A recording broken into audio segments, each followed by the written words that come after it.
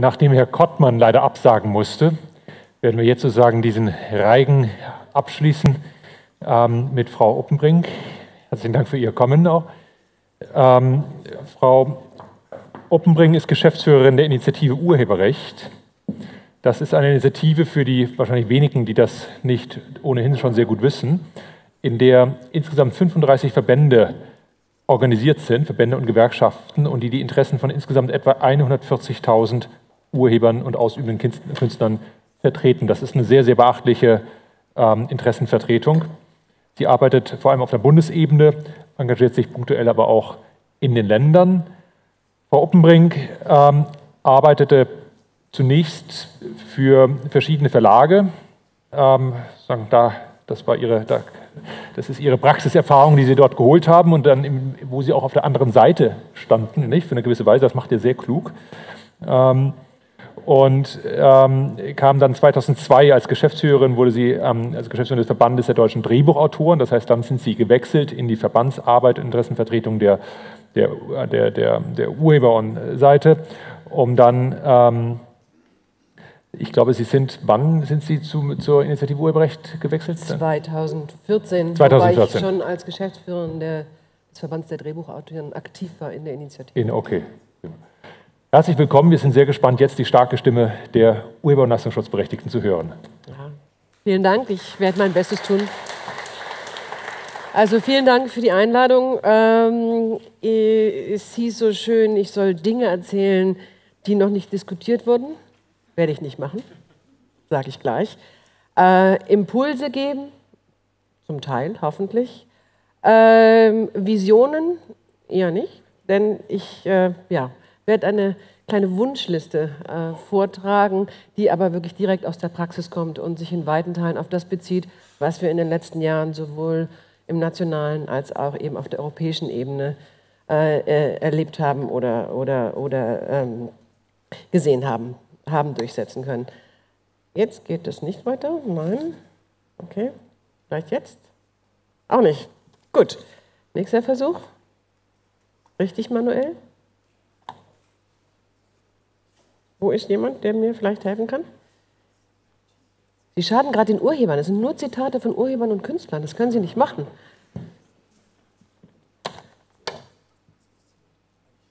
Müsste eigentlich, ja, dachte ich ja. Okay, wir haben wenig Zeit. Ich überlasse das Ihnen und guck mal. Ähm, das erste Zitat, genau, ist von Fred Breinersdorfer, Drehbuchautor Produzent und Jurist. Wunderbare Mischung, ich liebe es sehr. Ähm, er sollte eigentlich heute sprechen, musste bedauerlicherweise absagen, weil er eine internationale Produktion mit auf die Beine stellt und deshalb woanders in Europa unterwegs ist. Ich hoffe, ich vertrete ihn würdig und äh, ja, ich tue mein Bestes. In der Debatte um die Zukunft des Urheberrechts in der Informationsgesellschaft hat ja das Verständnis für die Wahrung der Persönlichkeits- und Vermögensrechte für die Urheberinnen und Urheber schon mal zugenommen. Ähm, das ist schön. Und äh, vielleicht kommt jetzt mein Hauptwunsch oder nennen Sie es Vision. Noch schöner wäre es, wenn sich der Gedanke so durchsetzen würde, dass wirklich jede Nutzung und die angemessen vergütet wird. Wie man das macht, ob kollektiv oder anders, das kann man diskutieren, aber grundsätzlich gehen wir davon aus, dass Urheber und Künstler, äh, dass jede Nutzung ihrer Werke angemessen vergütet werden muss. Ich werde ab sofort übrigens nicht mehr gendern. Wir haben wenig Zeit und ich bekomme dann auch irgendwann den Knoten in der Zunge. Das tut keinem von uns gut.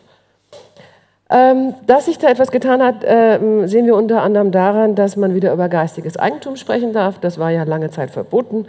Und äh, wir haben es auch gemerkt in den Bemühungen der jetzigen Regierung, die in den letzten Jahren doch einiges geleistet hat, um die Situation der Urheber und Künstler zu verbessern. Aber nicht alles, was jetzt gesetzt wurde, ist schon perfekt oder ist ausreichend, um eben die äh, Situation in, äh, ausreichend zu verbessern. Und äh, schließlich geht es ja um das Fundament der Kultur- und Kreativwirtschaft. Ganz kurz unsere Forderung. Ganz überraschend Urhebervertragsrecht. Beim individuellen Vertragsrecht äh, muss zum Beispiel die Rückrufmöglichkeit der Rechte in jedem Fall weiter ausgebaut werden. Im kollektiven Urhebervertragsrecht halten wir unsere Forderungen bezüglich der Verbindlichkeit des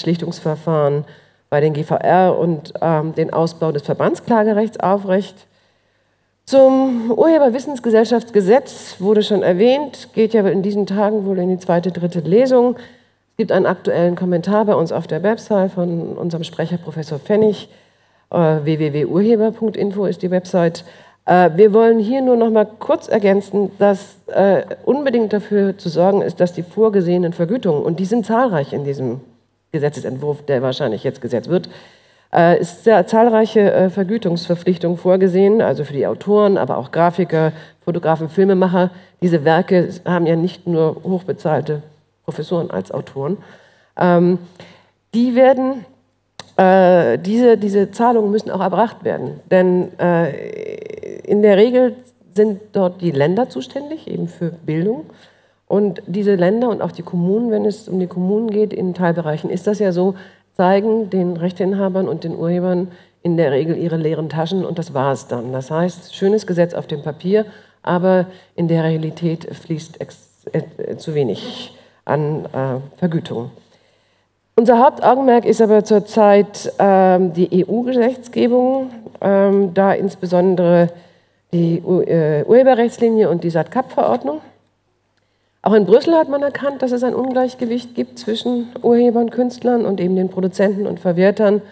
Und das wurde erstmals überhaupt äh, äh, im Impact Assessment und dann eben aber auch in der Urheberrechtslinie äh, der Kommission klar so beschrieben und auch dann eben konkrete Vorschläge gemacht. Mehr dazu später. Und für das Parlament, da muss man sehen, dass sich in den letzten Jahren auch äh, ein, ein Wandel vollzogen hat, dass die Aufmerksamkeit auf den gesamten Bereich der Kultur- und Kreativwirtschaft größer geworden ist, dass man das eben als einen wirklich wichtigen Markt, sowohl wirtschaftlich, aber eben auch gesellschaftspolitisch erkannt hat.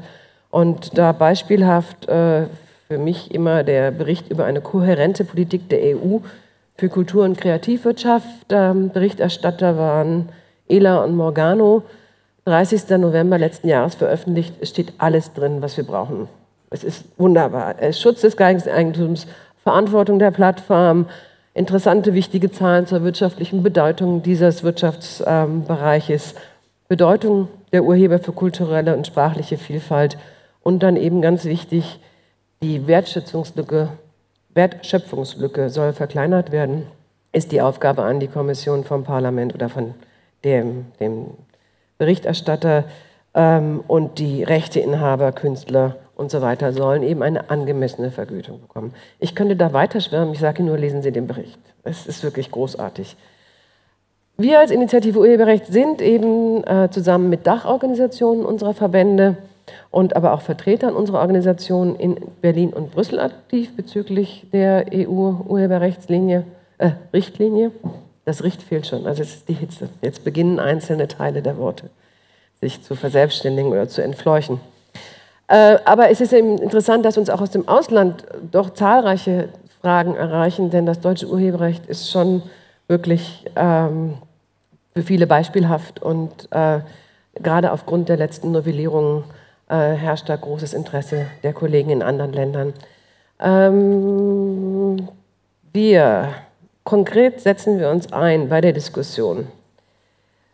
Äh, Ausbau des Urhebervertragsrechts, auch ganz überraschend. Es ist mehrfach heute darüber gesprochen worden. Ähm, äh, es geht um die Transparency. Bei uns ist es Auskunftsrecht ähm, als Einschlagwort. Dieses Auskunftsrecht muss oder sollte unbedingt eben wie in Deutschland für die gesamte Lizenzkette gelten. Das tut es noch nicht.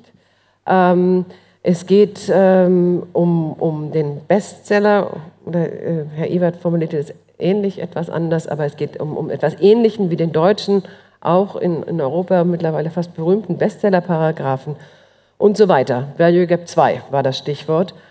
Ähm, das führt mich zu Value Gap 1, denn äh, der andere extrem wichtige Punkt ist äh, für uns, die Verantwortung der Plattform und hier insbesondere die Vergütung von Nutzungen, und zwar privater wie kommerzieller Natur. Wie gesagt, Value Gap gibt es ja verschiedene äh, Überlegungen, wie man das schließen kann, und ähm, wir setzen uns dazu dafür ganz überraschend auch natürlich ein. Und ähm, eine einzige Zahl, ähm, der Gesamtanteil des direkten und indirekten direkten Werts von kulturellen Inhalten an den Einnahmen der Plattformdienste beläuft sich auf ungeheure 62 Prozent. Und die werden in der Regel gar nicht oder schlecht vergütet. Das heißt, noch einmal, ich weiß, Sie alle werden das schon häufiger gehört haben, aber man kann es nicht oft genug gesagt äh, haben. Ähm, die Anbieter sind auf die Werke angewiesen und entsprechend müssen dann auch die Vergütungen folgen. Nochmal zu den noch konkreten Punkten. Wir schließen uns der Forderung der europäischen Verbände SAA und der Fair Internet Campaign an. Das ist im Grunde, es klang auch schon an, eine quasi Fortführung der, der Vermiet- und Verleihrichtlinie, wo eben äh, äh die durchsetzbar, also die Durchsetzung des Anspruchs, Anspruchs auf angemessene Vergütung im Online-Bereich äh, auch erfolgen soll, der dann, also ein unverzichtbarer Vergütungsanspruch, und der kann dann und sollte über die Verwertungsgesellschaften abgetreten werden. Das sprang, sprach ja auch Heiko schon an.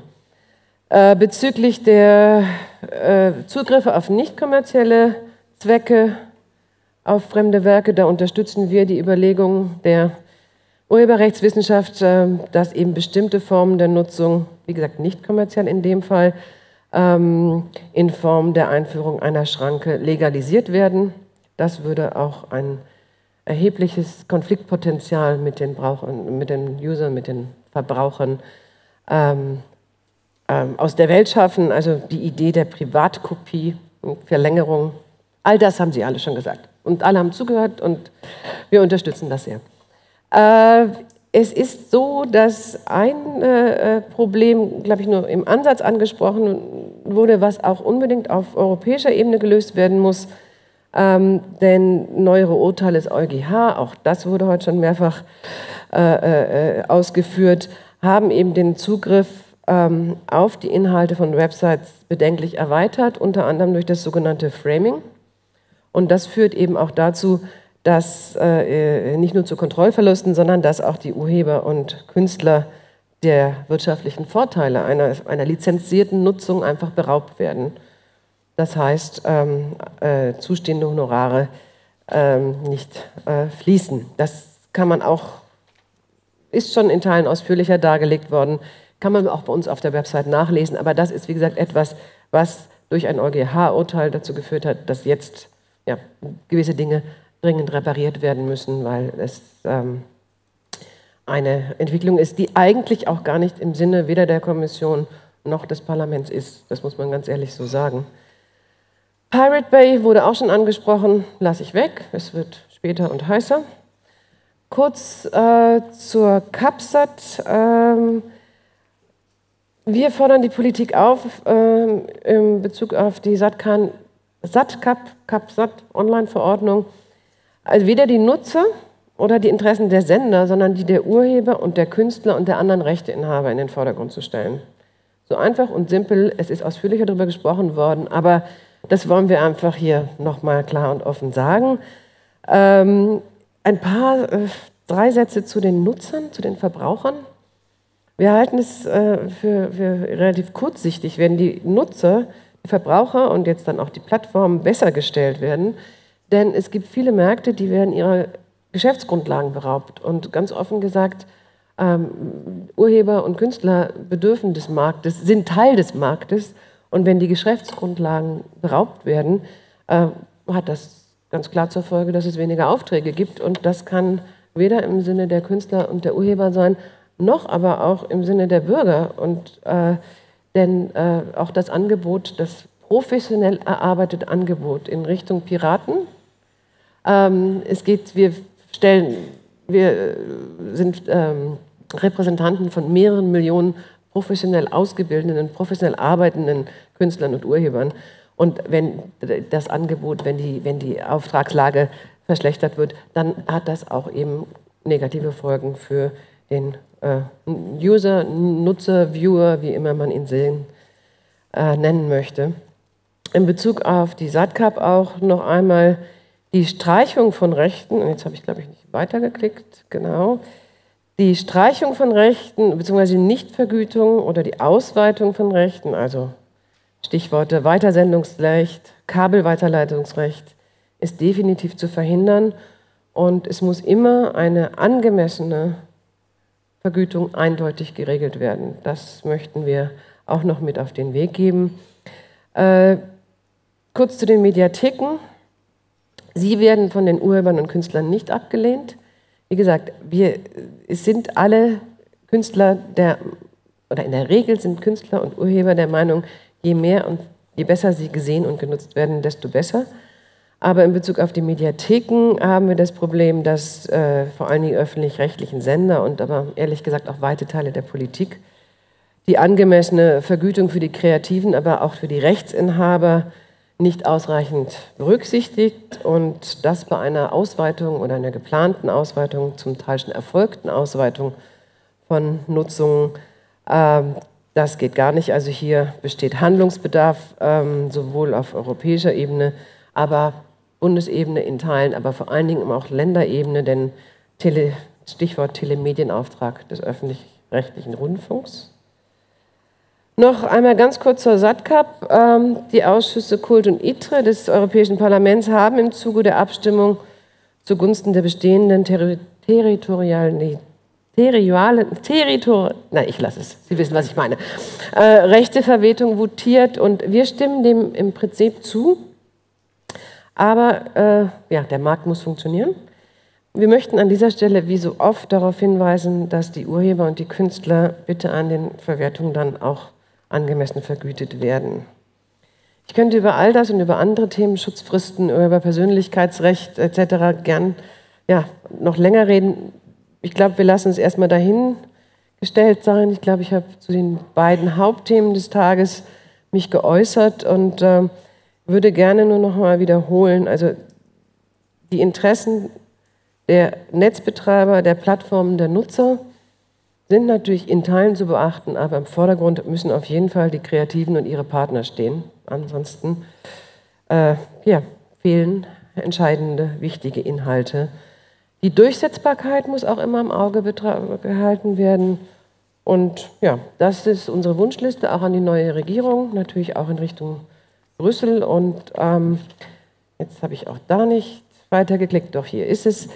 Ähm, ein Blick hier in die, in die Runde. Ähm, gerade angesichts äh, von Themen wie Plattformökonomie und so weiter halten wir es für sinnvoll, dass man punktuell dann doch äh, verstärkt zusammenarbeitet. Ähm, und äh, es gibt ja schon Bereiche, wo das ganz gut klappt, wo äh, Urheber, Künstler, Produzenten, Verwerter auch gemeinsam agieren, sich auf jeden Fall ausführlich austauschen, mehr als früher. In anderen Bereichen klappt das noch nicht so, also ein Wunsch. Und ich schließe mit den Worten des bedauerlicherweise kürzlich verstorbenen Textdichters Frank Dostal. Sag nicht Content zu unseren Liedern, sag nicht Value, wenn du Profit meinst und sag nicht Freiheit, wenn du Kontrolle und Willkür willst. Dann danke ich herzlich und habe mich hoffentlich einigermaßen verständlich ausgedrückt und bin, stehe für Nachfragen natürlich gern zur Verfügung.